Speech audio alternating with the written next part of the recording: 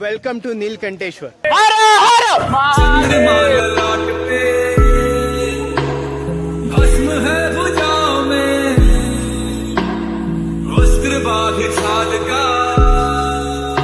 अगर आप पुणे में हो और एक दिन में क्या चार घंटे में किधर तो घूम के आने का सोच रहे हो तो सबसे बेस्ट जगह ले जा रहा हूँ। Means thirty, forty forty five kilometres के दूरी पे है अगर पुणे से, अगर मैं हड़प से तो यहाँ से फोर्टी किलोमीटर्स पे तो आपको काफ़ी ज़्यादा मज़ा आने वाला है। नई प्लेस है वो, क्या प्लेस है? आपने टाइटल में तो देख लिया है। तो वहाँ की जो भी इंफॉर्मेशन है, जो भी वाइब है, मैं वहाँ जाके बताता हूँ। तो फ़िलहाल तो रेडी हो चुके हैं और हमारे as usual family members ready नहीं हुए, मैं ही रेडी हो चुका कोई ना, जैसा भी है, जो भी है, फटाक से चलते हैं नीलकंठेश्वर।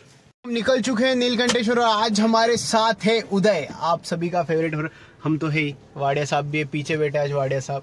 और चलते आज निकलते श्री राधे कृष्ण जी का नाम लेके। राधे राधे। राधे राधे कृष्ण राधे। हो आदिदेव शंकरा पहुँच चुके हैं यहाँ पे एक छोटा सा डाइवर्जन है कच्चा सा रोड है आपको ये जो दिखा है डायरेक्शन उसी से जाना है बहुत खतरनाक रोड है आप जैसे कि देख सकते हो।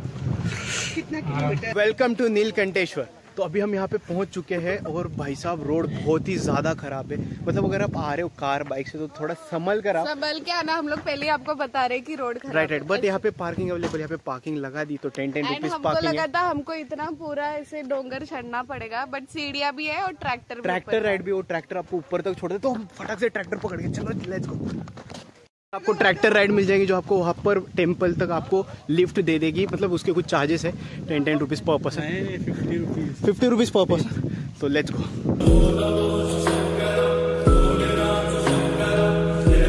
पार्किंग से ये ट्रैक्टर राइड लेने के बाद यहाँ से डेढ़ किलोमीटर का रास्ता है। वो अंकल कह ले कह रहे कि फिफ्टीन मिनट्स लगेंगे। और पर पर्सन फिफ्टी रुपीज़ लेते हैं ये। और छोटे बच्चों के लिए नहीं है क्योंकि वो भगवान के फूल होते हैं। हाँ उन्हीं का डायलॉग पापा बोल रहे हैं। राइड नहीं लेनी तो आप वॉकिंग के थ्रू भी जा सकते हो ये स्टेप से पूरा। इतने से ज़्यादा रास्ता? इससे हाफ़ एन आवर फोर्टी आधा घंटा लगता आधा घंटा लगता है आपको चलते। मैं और उदय आगे बैठ जाते हैं मीन्स ड्राइवर अंकल के पास उन्होंने कहा आगे से ज़्यादा अच्छा सीन दिखता है। बीच में बैठेंगे तो आपको कुछ मैं दिखाई नहीं पाऊँगा। लेकिन अभी यहाँ बैठू कैसे? तो आ जाए यहाँ से। टायर पे बैठ रहे अपन? ये याद रख। सो हम कुछ इस तरह बैठ चुके हैं। आप जैसे कि देख सकते हो मैं एक टायर पे एक टायर पे उधर बाकी सब लोग पीछे बैठे हैं। सो ऑलमोस्ट अभी फुल हो चुका है ट्रैक्टर और अभी सफ़र हमारा जस्ट स्टार्ट होने वाला है। और मेरे को देखो साथ में बिठाते हैं यहाँ पे एक और बंदे को बिठाएँगे। तो अभी लेट्स को अभी सबसे ज़्यादा डर यहाँ पे लगने वाला है क्योंकि बहुत ज़्यादा स्टीफ है। पीछे देखो पीछे तो देखो होने वाला है अभी। उदय कैसा लग रहा? थोड़ा डर भी लग रहा है। बड़ा अच्छा लग रहा है। आप सबको कैसे लग रहा है? भाई पूरे ना बॉडी के एक एक हड्डियाँ हिल चुके हैं। इतना मीन्स डेंजर लग रहा है वो। मज़ा आ रही है बट तेरे सर पे हाथ रख तेरा हर हर महादेव। हर हर Mahadev. We have almost reach यहाँ से टेंपल स्टार्ट होता है सो फाइनली हम यहाँ पे पहुँच चुके हैं और बहुत ज़्यादा वाली धूल है। यहाँ शायद कोई एंट्री टिकट नहीं है आपको जो भी होगा ऊपर चल के बता पे काल भैरव जी है और आप लोगों को कैसे लगा एक्सपीरियंस ट्रैक्टर का? लोगों ने यहाँ पे आने के बाद ट्रैक्टर राइड लेनी चाहिए चलते आना चाहिए? ट्रैक्टर राइड लो क्योंकि भाई। पापा जस्ट गिरने वाले थे। चढ़े तो कुछ नहीं अभी धूप धूप में पूरी वाट लगती है अभी let's go start Hanuman ji भी थोड़ी सी रेस्ट कर रहे हैं क्योंकि धूप ज़्यादा है बहुत। हम भी थोड़ा वहाँ पर रेस्ट करते कहीं पे। यहाँ पे बहुत सारे ऐसे स्टैचूज दिखने वाले आपको, हमारे मैथोलॉजी से कनेक्टेड आपको हर स्टैचू के बारे में तो नहीं बता पाऊँगा मैं, लेकिन जो जो जिस स्टैचू के बारे में पता है, वो बताते हैं। यहाँ पे दत्त महाराज जी भी है। वाह कितना ब्यूटीफुली बनाया गया है। और अंदर आने के बाद बहुत सारे ऐसे मूर्तियाँ है। यहाँ पे शिव जी की मूर्तियाँ देख सकते हो। अभी टेंपल आने वाला है और दूर। यहाँ पे थोड़ा सा ऐसा शेड बनाया हुआ है। अगर आप धूप में से चलते हैं तो थोड़ा यहाँ पे रेस्ट कर सकते हो। लेकिन मैंने अभी तक पापा कुछ खाने वगैरह का नहीं देखा यहाँ पे। यहाँ पे है एक रेस्टोरेंट बट अंदर अष्ट विनायक जी के भी दर्शन होंगे सब आपको, गणेश जी के जो भी जितने भी आठ रूप है। वाह। और यहाँ पे सब संत संत हैं हमारे, जितने भी अभी तक के जो भी संत है ना, दगड़ू शेठ महाराज जी भी है। वाह ब्यूटीफुली बना है ब्यूटीफुल ओके सो यहाँ पे एक वेल है, और अगर आपको मूर्तियों के सब दर्शन करने तो यहाँ से स्टार्ट होता है, ऐसा ऊपर तक है। वो बाद में जाते पहले हम, पहले दर्शन कर लेते हैं। वाह ब्यूटीफुल उनकी मम्मी तो पीछे फ़ोटो खींच रही और बच्चे हमारे साथ आ गए। ऐसे केयरलेस मत बनो, अपने बच्चों को संभालो। ये टेंपल की एंट्री आप जैसे देख सकते हो। वाह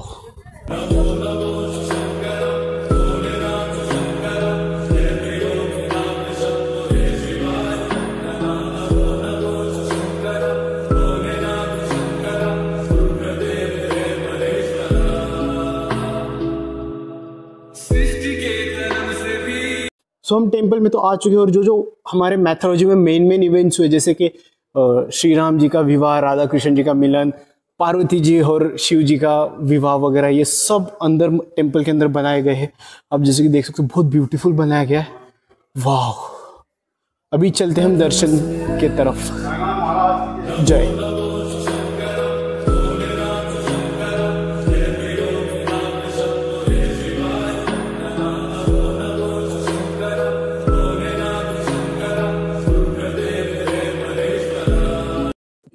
जैसे कि देख सकते हो, वहाँ अंदर जाकर आप दर्शन ले सकते हो तो अभी अंदर चलते हैं। आने के बाद शिव जी कैसी थी? पिंड है, शिवलिंग है, उसका आप दर्शन ले सकते हो। हर हर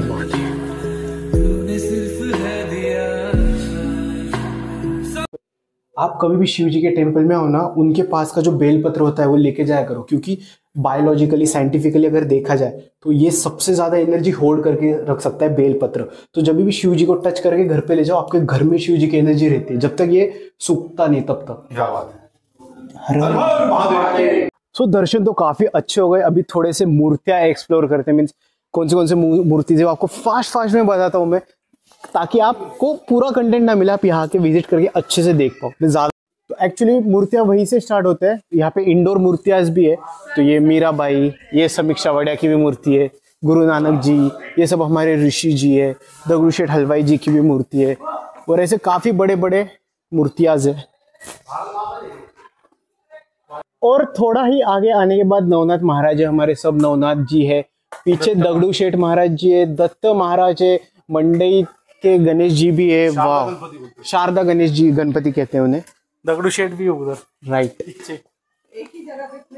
ये भी काफ़ी ब्यूटीफुल सीन है जैसे कि देख सकते हो आप जैसे जैसे अशोक वाटिका में रावण ने सीता माता को किडनैप करके तो जब हनुमान जी मिलने आते हैं उनको अंगूठी देने राम जी की तो वो सीन काफ़ी अच्छे से क्रिएट किया गया है।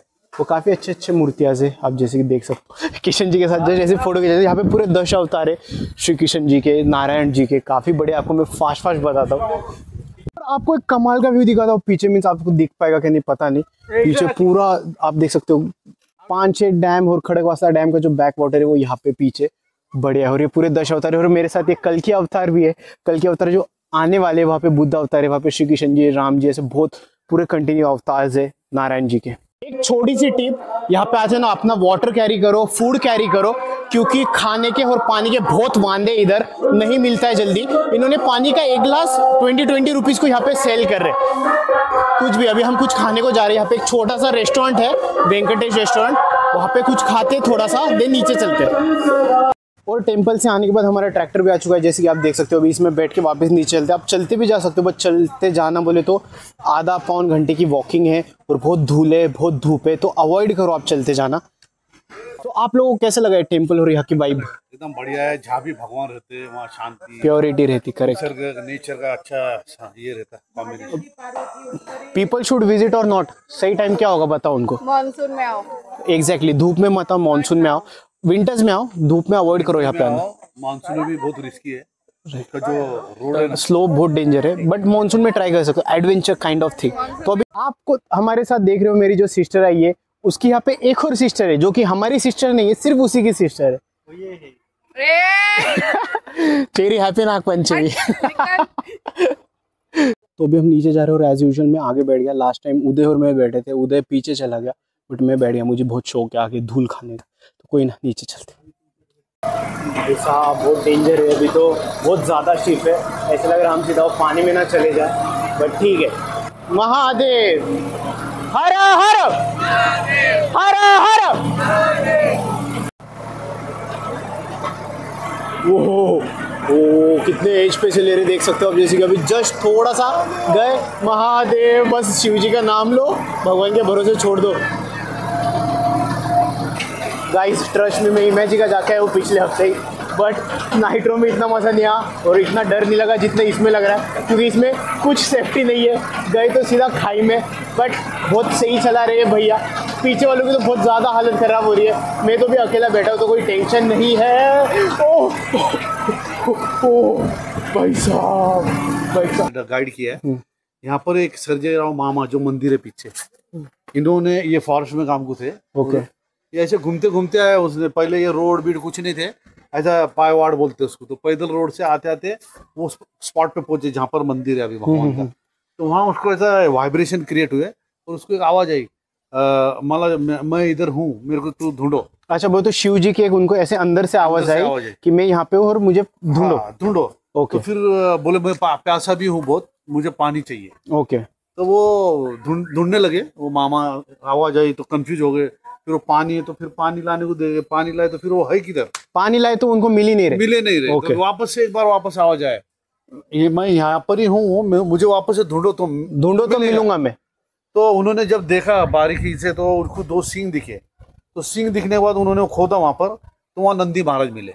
ओके तो नंदी महाराज मिलने के बाद उन्होंने आजू बाजू का और और जजमेंट आ जहाँ नंदी महाराज नंदी महाराज है बोलते यहाँ शंकर जी शिव जी भी होंगे करेक्ट तो उन्होंने फिर आजू बाजू को थोड़ा ढूंढ के खोद के देखा तो वहाँ वो पिंड मिली महाराज ओके जो अभी ऊपर है पिंड वो आपको दिखाते स्वयंभू पिंड है वो कैसे दिखती है कैसे है सब मैं आपको तो यहाँ पर तो ये जो यहाँ पर बहुत मनोकामना पूरी हुई है जो भी लोग आए थे उन्होंने बताया। ओके। जैसे कि अभी जो हमको दीक्षित साहब मिले थे उन्होंने उनकी खुद की स्टोरी बताई कि वो नौकरी की ढूँढने में आए थे तो उनकी यहाँ की अकाउंट की नौकरी यहाँ पर मिली तो और खाना पीना ये सब कुछ फ्री है रहने के लिए फ्री है एवरीथिंग ओके ओके जिनको नशा है वो नशा मुक्ति केंद्र ये सबसे ज़्यादा सबसे important है। ये चीज़ है कि नशा के लिए ये करते हैं। कोई भी एडिक्शन का यहाँ पे रिहेबिलिटेशन सेंटर है। बट आज एक बात प्रूव होती है कि ढूंढे तो भगवान भी मिलते हैं। तो ये ब्लॉग उसी का है ढूंढे तो भगवान भी मिलते तो बिलीव रखो आप जो भी जिस चीज़ पे बिलीव रखते रखते हो ना वो चीज़ हंड्रेड का थाउज़ेंड परसेंट पूरी होनी ही है मिलती है नीलकंठेश्वर महाराज की जय।